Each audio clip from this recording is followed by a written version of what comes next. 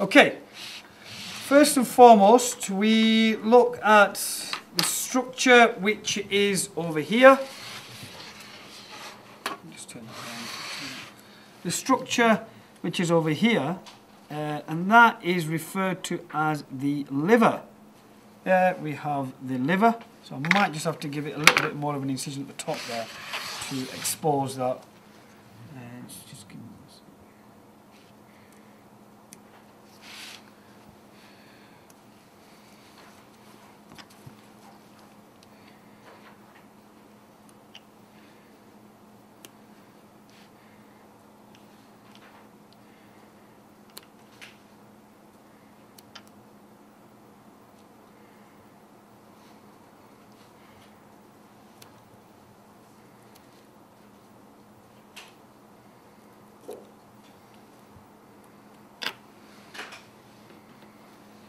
That's better.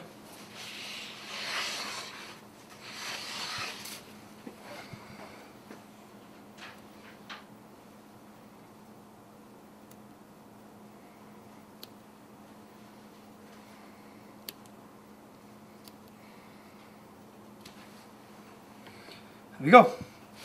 Uh, what we can see over here is a tri-lobed liver. So we've got one over here, the second in the middle there, and the third, which is situated on this side over here. Um, at first glance, we can see these structures over here, and these structures are referred to as fat. Just below there, we can see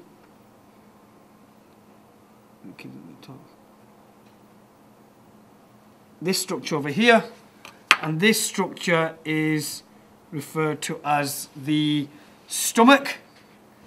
And below the stomach we have well just below the stomach we have this kind of substance over here and this over here is referred to as the small intestine.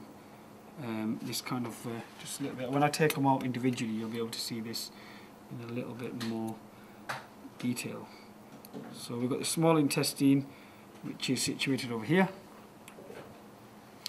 Now, the small intestine has got a lot of, it's all kind of uh, attached together by a thin membrane, and that membrane we refer to as the myst mysterine membrane, which just kind of keeps hold of the small intestine in place and together.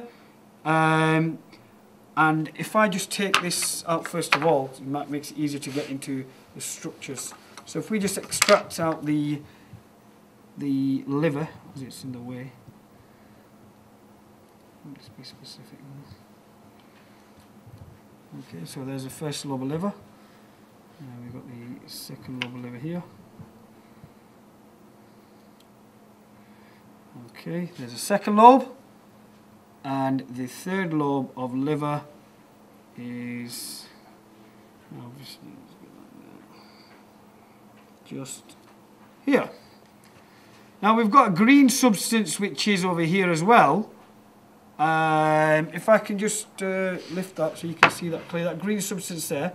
We refer that as the gallbladder. Okay, the gallbladder is, is the green substance here, which contains bile substance uh, which emulsifies the fats, i.e. breaking down the fats into smaller molecules and therefore allowing the enzyme lipase to act on the fats to break that down into even smaller parts. So ideally, the bile is breaking down the fat to increase the surface area of the fat molecule to allow the enzyme lipase to act on it. And it has a similar function to what we have in the human body. Um, so we can just have a look at this here. And there is our bile, which we just extracted out there, yeah? Okay. You can see it is like a greeny substance.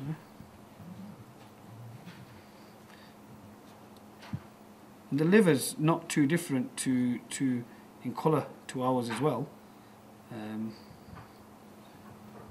this bit segments of the. And you can see there is probably where the, just that bit there is where the small, uh, um, the gallbladder was attached because it's green. Okay, it's green pigment there situated. And this, obviously your liver, made up of hepatocytes, specific type of cells that are within there. Okay. The next bit we want to have a look at is the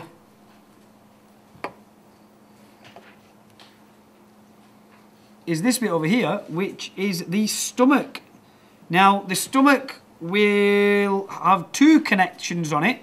It's got a first connection, which is over here, and a second connection, which is over here. The first connection is via what we call the esophagus. The esophagus comes down here, and then your uh, stomach has a specific kind of sphincter there, a muscle, which opens and closes to allow the food to come through there. And that sphincter muscle is referred to as the cardiac orifice. Opens, food goes down into the stomach, closes, food is then digested.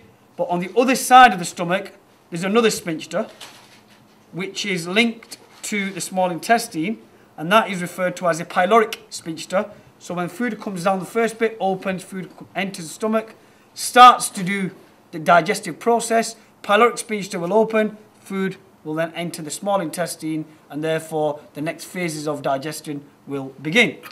Um, so if we just have a look at these sphincters, it may be a bit difficult to kind of have a look at this, but we'll see what we can do. Um, there we go.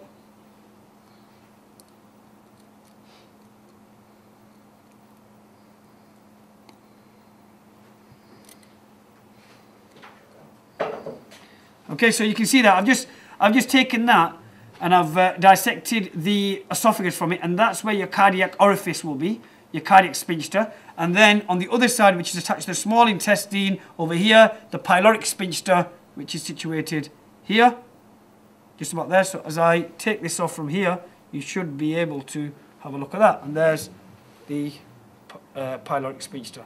So when that opens, food enters stomach, digestion takes place primarily, obviously in human beings, we get um, protein digestion taking place, and then once protein digestion is taking place, stomach churns the food, opens up the pyloric sphincter, food leaves the pyloric sphincter, enters the next phase of digestion, which is in the small intestine, which is situated over here. We'll just uh, give this a little bit of a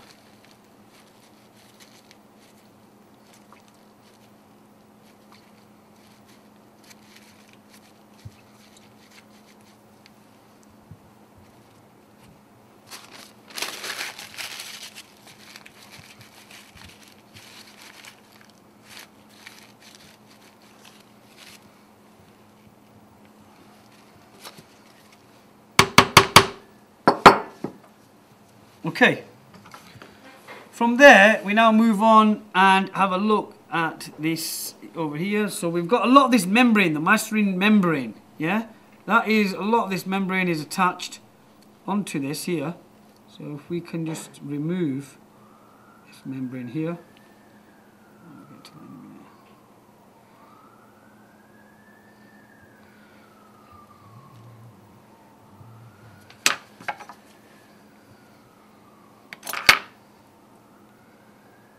Small intestine.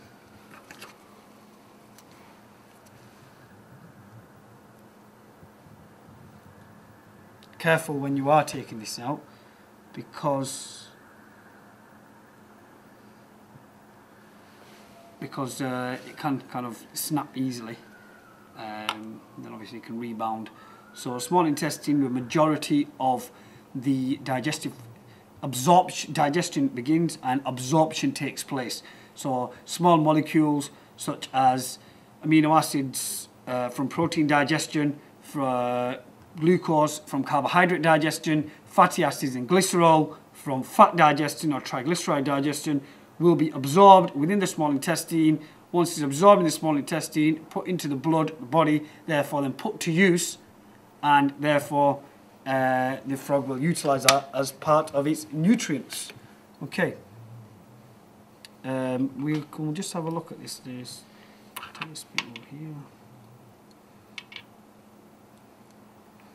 Okay, we've got a small intestine.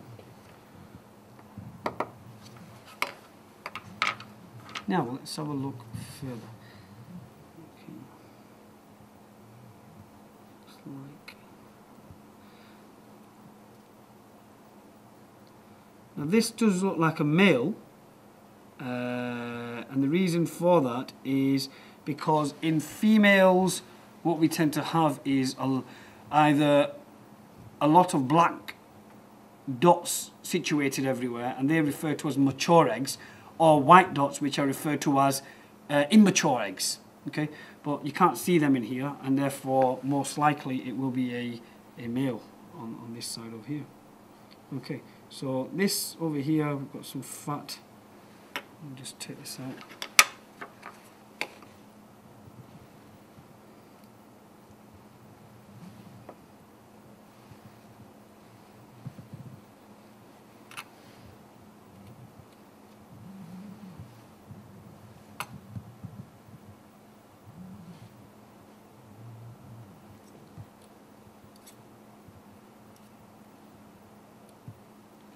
and the kidneys are just situated at the back of the frog, which are right at the back over here.